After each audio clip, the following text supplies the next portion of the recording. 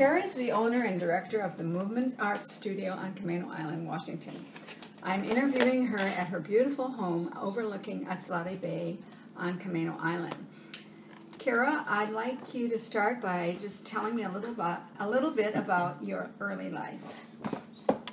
Uh, my early life, I uh, was in a large Catholic family in New York, grew up in New York City. Um, my father was a journalist and my mother is a magazine editor. And uh, consequently, my mother insisted that we do not get a New York accent, and that's why I don't have one. She was very proper about that and demanded that we speak correctly, which has come in very handy to me as a yoga teacher. Learning how to communicate. So, uh, yep, so I grew up in New York City. Um, left uh, at the end of high school, went out to the Midwest where my mother had moved, and uh, I, I, was a dancer, and uh, I did go to college and uh, studied dance in college, University of Iowa. I've spent time uh, teaching dance, uh, exercise, and various things from 1980 on, and um, also had a career in sales while I was raising my children. And um, as far as is that good for my early childhood? Yeah, I, I, went all the way up to almost to when I started teaching okay, yoga. let's go on then to my next question. Yes.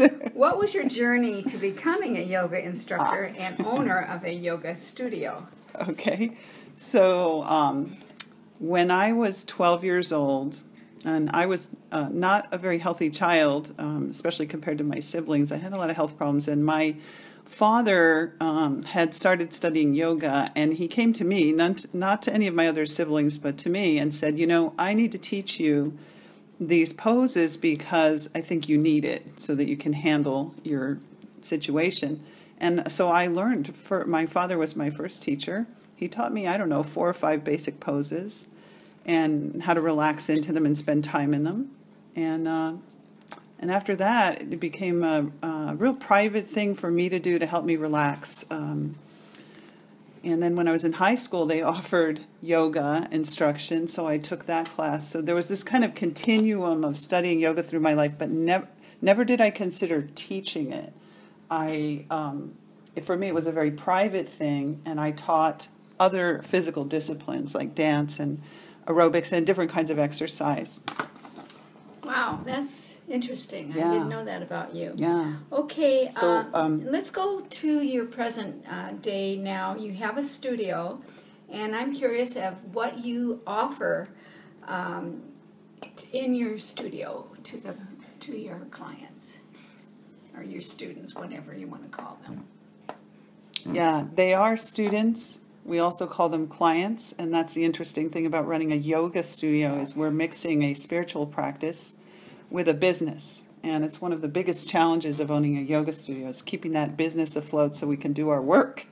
Um, so that's a real challenge. But how um, I perceive our studio is um, my dream of how a studio should be. And I've been doing this for 18 years. I've had the studio since 1998. Um, we've had various locations, but we've managed to stay afloat. Is that now uh, really we're reaching a place where it feels more like a collective. We have nine uh, different teachers teaching at the studio and um, of various backgrounds and styles, including uh, people who have been through our teacher training program. And I just, it feels so good to me to have such variety of teachers and classes and times and types of yoga where somebody can come in and do something very gentle and somebody can come in and do a strong vinyasa flow and then we have all those choices. Um, so yeah that's my vision of a yoga studio and we're actually living the vision now um, but it continues to be a challenge uh, both financially and um, scheduling is the hardest thing trying to figure out when to put the classes where. Okay, yeah. well, I can certainly attest to that because I'm one of your students, and I have been for 10 years, and I just wouldn't be able to live without going to yoga every day. so I, I applaud you for your efforts and your success, and uh, I think it's wonderful that we have you on the island and all the offerings you give to the people here. So, Kara, uh, just to um, complete the interview, what else would you like to tell me about yourself? Just personally, philosophically, whatever comes to your mind. Well, It's the hardest question, I know. yeah, it's interesting. The other day in class, I was going on to the students about how we have so many retired students at our studio, and uh, I was going on about how much I like working with retired people because they're so laid back and have time and it's just so enjoyable. And I said something about you know my own retirement is coming at some point, and uh, one of the students said, "Join the crowd," and then he, and then everybody was going, "No, no," because they they the yoga has become such an integral part of their lives, like you just said, and um, to me, that's like we have such a strong community going here. Um, so I'm living my dharma. I'm living my my life's purpose now, and there's no time to waste. And yo- yoga is the thing. I don't know. It's my whole life. So um, I'm I'm so happy that I'm doing what I love, and uh, the future is unknown, but I'm uh, looking forward to it. I also know that you do some retreats. Yes. And uh, I have been on several myself, and I know you have uh, you have ongoing retreats uh, that are very popular. Some even um, internationally, and um, and some locally. So tell us a little bit about that.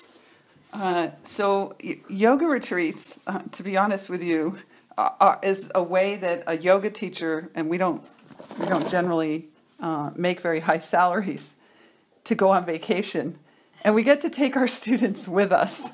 I mean, on a, the very bottom level, it's that. So you're surrounded by people you love, and everybody goes off and does their own thing too, but you get together for your yoga just like you're at home. So it's kind of like taking the studio with you, and um, and it enables us to financially afford to go um, to these exotic places. So it's a beautiful uh, synergy, and the students have such a great time, and they get to be around people they're familiar with too. Plus, meeting new people and having new uh, experiences, going to new places, and I try to keep the trips down to a certain level because you know.